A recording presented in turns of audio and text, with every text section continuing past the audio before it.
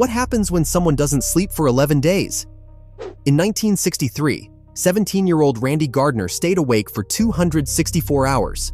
No caffeine, no drugs. He was monitored by military and university scientists. By day two, he couldn't concentrate. By day four, he believed he was a football player. By day six, he hallucinated street signs and people who didn't exist. His body remained conscious, but brain scans showed microsleeps.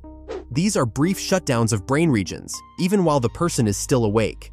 His speech became slurred. He forgot what he was saying in the middle of sentences. He failed simple math tests and lost the ability to follow basic instructions. Doctors recorded paranoia, mood swings, and temporary loss of identity. When the experiment ended, he slept for 14 hours.